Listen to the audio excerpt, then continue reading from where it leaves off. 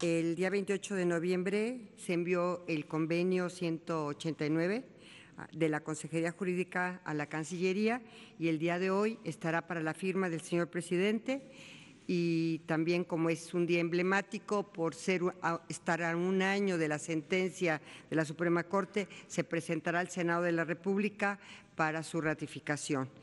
Posteriormente, la Secretaría de Gobernación lo publicará en el diario oficial. Es el convenio de la OIT 189.